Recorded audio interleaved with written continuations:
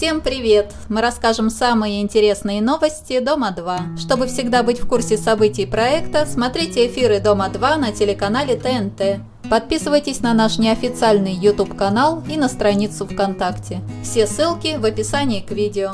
Надя Ермакова рассказала, что скоро на съемках субботних ток-шоу будут приглашать не только психологов, но и астрологов и экстрасенсов. Они будут помогать участникам решать проблемы. На поляне образовалась новая пара, это Вика Комиссарова и новенький Антон Батраков. Ребята уже заселились в комнату, это самая молодая пара на проекте. В сети появились фотографии Леры Фрост до пластических операций.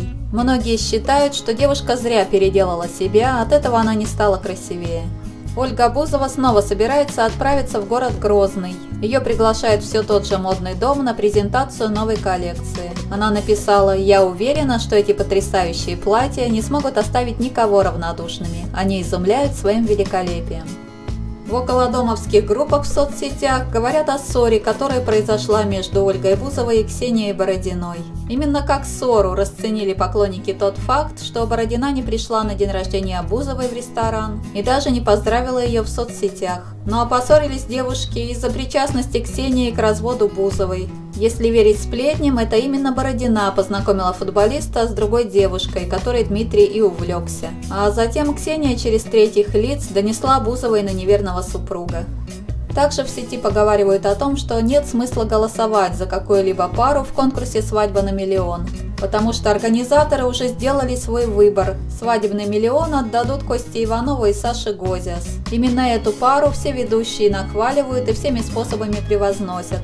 В прошлом году точно так же тянули за уши Эллу Суханову и Игоря Трегубенко, и в итоге они победили в свадьбе на миллион. Также у многих сложилось впечатление, что на последнем этапе конкурса Костя уже знал все ответы или кто-то ему подсказывал. Такими разносторонними познаниями может обладать только очень начитанный и высокоэрудированный человек, на которого Костя не тянет. В сети появился пикантный снимок пятилетней давности.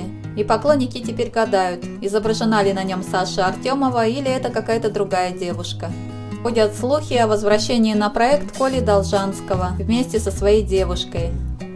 Саша Задойнов опубликовал в своем блоге фотографию. На ней он вешает на стену семейный портрет. Глеб Жемчугов, давно не видевший сына, наслаждается общением с ним. «Как же давно я ждал этот день, это мой лучший выходной», – пишет Жемчугов. Уже несколько месяцев ходят слухи о том, что Вика Боня и ее гражданский муж Алекс Смерфит расстались. И на днях в средствах массовой информации появились фотографии Алекса, который целуется с другой девушкой. И буквально через несколько минут в своем блоге Вика решила внести ясность в ситуацию и призналась, что они действительно расстались еще полгода назад. Наши отношения перетекли в дружеские, мы очень любим друг друга, но уже немного по-другому. Многие подумали, что Алекс бросил Вику, но она написала, что это не так. Вы действительно считаете, что таких женщин, как я, бросают? Ни один мужчина меня еще ни разу не бросил. Алиана Устиненко победила в очередном конкурсе. Она стала лицом известного бренда и скоро летит в Грецию на съемки. На этом все. Спасибо, что были с нами. Ставьте лайки, комментируйте, подписывайтесь на наш канал на YouTube и на страницу ВКонтакте. Ссылки ищите в описании к видео. И не забывайте смотреть эфиры Дома 2 на канале ТНТ.